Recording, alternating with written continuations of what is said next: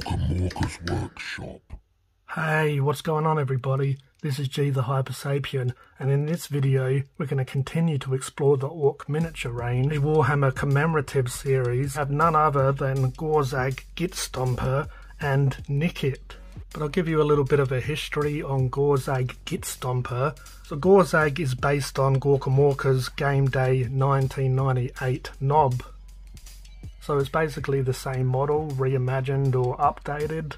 So the Gorkamorka model was metal, obviously this is nice plastic, easier to work with in my opinion. But also Gorzag was on Gorkamorka, the other book.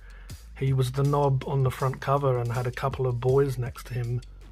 He was on the book The Citadel Miniatures 1998 Annual. So Gorzag's been around for a while, so it's nice that he gets an updated miniature, and yeah, he looks awesome. A pose and basically looks like the Games Day 1998 Nob. Face is a little bit more updated. His aesthetic fits in with the new Orc range more so than the Gorkamorka days. And now we get on to Nikkit. So Nikkit has a bit of a history as well. So Dr. Jeff is a comic book artist so he has a project called Spanners, and that's where Nikkit's from. Nikkit features in that comic series. It's a Warhammer community comic series that Dr. Jeff draws.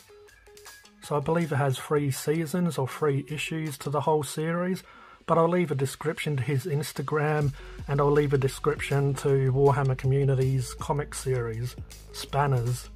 Now back to the review. It's black and has some grey shadow. It has the Warhammer symbol in the background, which is really nice. It has the new Warhammer 40,000 logo.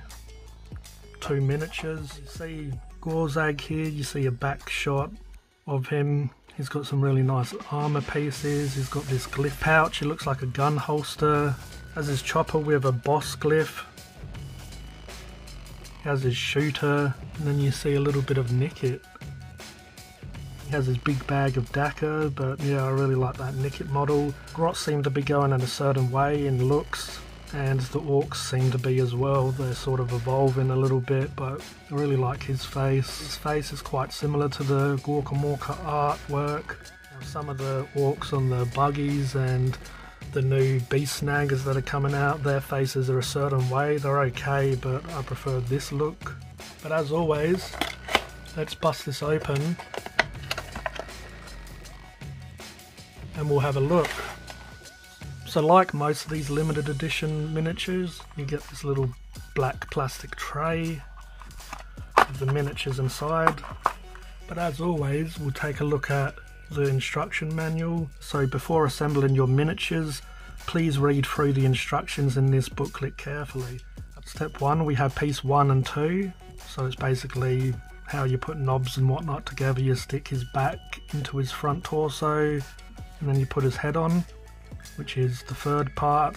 Two, you put on piece four, which is his arm and has a bit of his rib cage there that you put in. Blue is the step that you just did, so it's showing you what it looks like after. The yellow parts are where the glue goes, where the two pieces meet.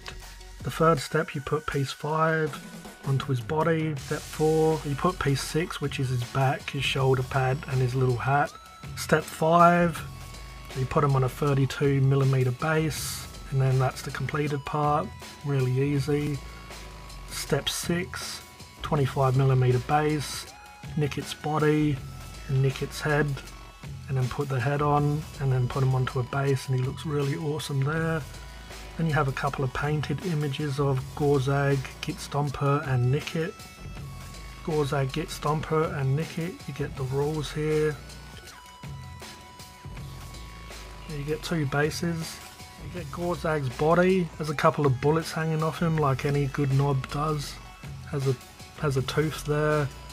Has this new sort of annoying head where it's sort of squared out. It'd be harder to do head swaps and whatnot in the future. It's a bit of a shame, but I do really like this model. I'm not going to change it. But if I had a second one, I might like to modify it because he's a limited edition. I'm going to keep him as is. You get this really nice loincloth. Now, this is missing in a lot of the new Orc range. I really like the way this these sort of tassels hang off and it's got rivets on it. I really like that look. Also, I really like the fur around the boots and the fur around the helmets. To me, that's what reminds me of Warhammer Orcs, having this Mongolian looking fur around parts. Has a gut hanging out and he has this vest on, like a sleeveless shirt. Has a bit of a steel cap and he's standing on an ammo crate with all these bullets out. So he's going to keep on shooting until everyone is dead or he runs out of ammo. You have his huge chopper, which looks amazing. I love the way he's holding it. Basically behind his back, ready to stab it into someone's chest. You get Gorzag's face with the two flaps of his helmet. Yet again, it's that same sort of look where it's got these tassely parts. Has his ear there with an earring, looks really good. Now that's Nikkit's body, so you get basically the whole grot, which is quite nice. It's really detailed. Has some really nice feet with individual toes and nails. Really detailed. Love the way he's posed. It reminds me of Golden Axe, or those little gnomes, I believe they were. Used to run around with treasure and you have to smack them to get all the treasure out. Now there's a few mold lines down Gorzag here, down his arm maybe a bit down Nikkit. Details are really good, not much cleanup at all. Some really faint mould lines where the two pieces meet. I really love Gorzag's back with his holster. Looks really nice the way it's decorated.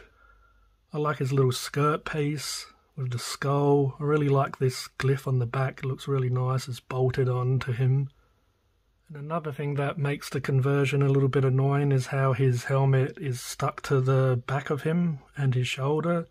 I mean, you could easily cut around it and use it. You'd obviously risk damaging his back that goes in between his two shoulders, but it is possible with some green stuff. But some people might want to change it. They're just making these miniatures harder to convert in a way. Its face, which is really awesome.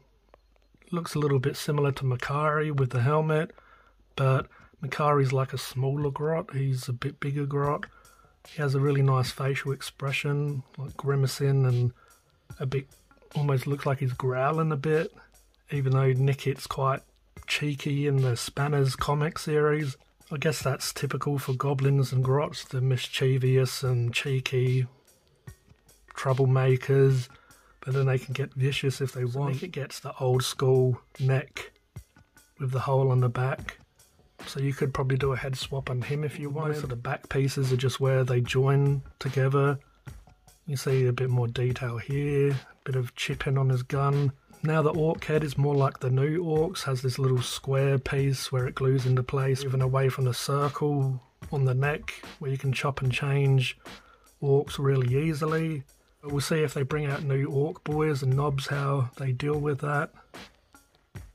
Now you can see the back of Gorzag looks really good. I love the damage on this ammo crate. His boots are really detailed. I love this wristband around him, spiked. Has dents and dings in his chopper. Has this has this little tooth symbol here. Has has the glyph hanging off the chain.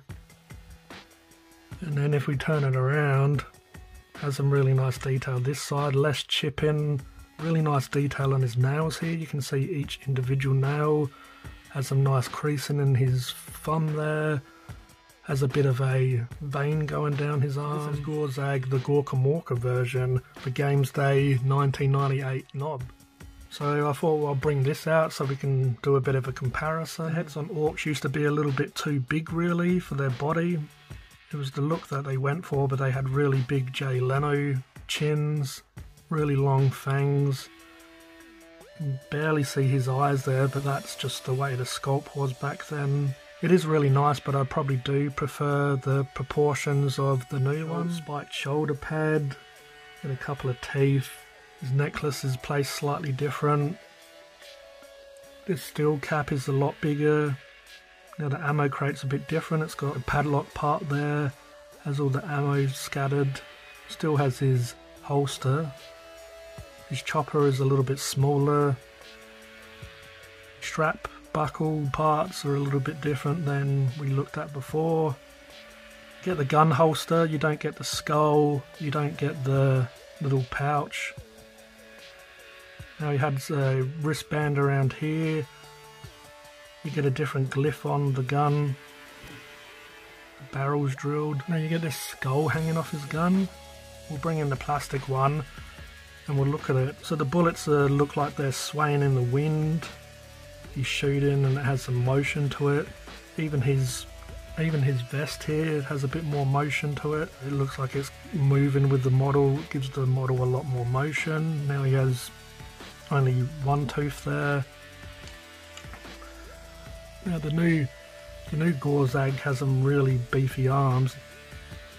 They both have spikes.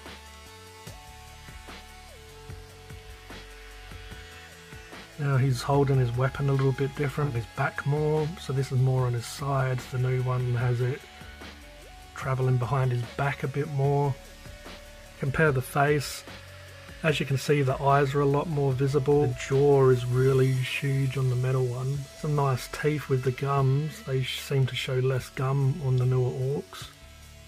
Has the little flaps on the side again. They're both nice, but the plastic looks like it's moving all in one direction. And then his ear has no earring. Now the shoulder piece is quite different, reinforced a bit more, a bit more damage. Now his gun doesn't have the skull hanging off. Obviously his back's way more detailed as well. It has this glyph on the back. As I said, it doesn't have the skull. Just see the belt on the metal one, where this one's the details a lot more clear and easier to get to. The holster has a fair bit of detail on this one, but I do like the plastic how it has these metal teeth hanging off. And then you get this little chain, which again has a bit of motion to it. Kind of looks like it's flapping a little bit. But I'm really loving this new one. It just so much detail and it's really crisp and clear. They both have a certain charm to it, but I have to say the new one is really good.